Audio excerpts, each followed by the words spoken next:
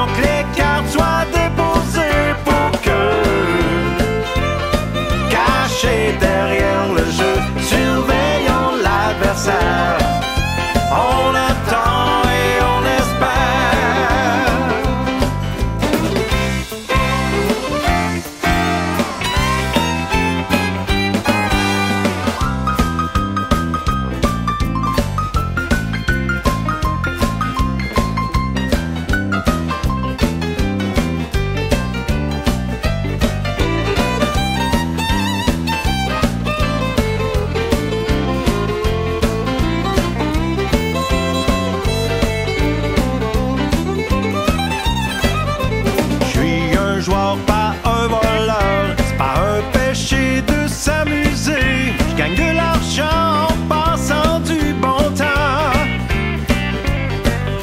Et c'est moins pire que les bing